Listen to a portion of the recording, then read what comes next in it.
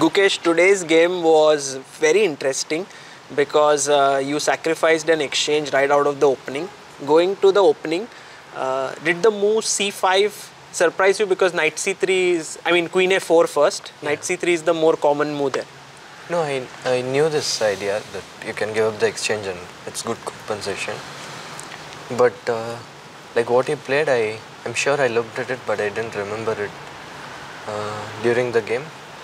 But uh, yeah, I, I thought I reacted well, at least some some interesting stuff with bishop b8 was happening. And okay, it was, uh, I think we played like mostly logical moves. And one, one moment where I might have had something was queen e6 instead of bishop e6, but uh, but, but I was worried about uh, queen e6 rook d2 and I calculated queen e5 g4 queen h2 king f1 queen h1 king e2 queen a1 and here bishop g5 and with the idea of bishop e7 and I couldn't uh, couldn't find uh, a way for black.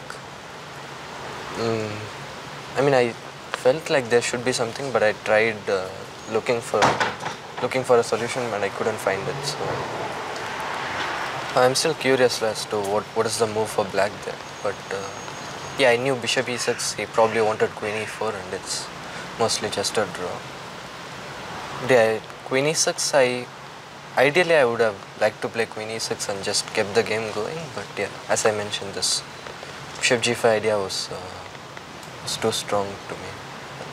When you play such a sharp opening like the Sveshnikov, there are always such uh, lines which kind of are uh, very theoretical and sometimes the opponent can also kill the game, right, by yeah. playing. Is that something that worries you when you're playing with black pieces or it's just part of the game for you now? Um, I mean, it's, it's a thing we all have to deal with, I guess. Like, I mean, you, when you play like uh, very weak opponents, you can tend to risk uh, more.